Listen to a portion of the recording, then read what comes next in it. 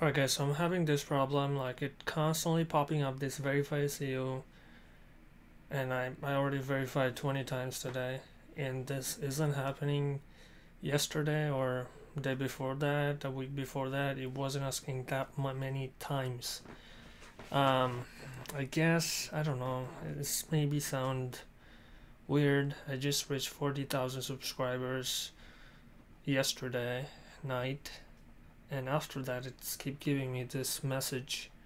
So I don't know if it's constant popping up message is only for high subscriber creators or not but I don't know. So um, let's try a solution. Press F12 uh, on your keyboard. It's a function key on your keyboard. And go to this application tab.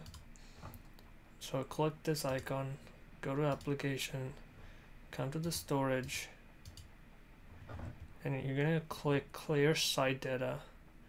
So it's also include cache and cookies. As you can see cache cookies SQL everything. It's all clear. Make sure you come to the studio and you have to sign in back.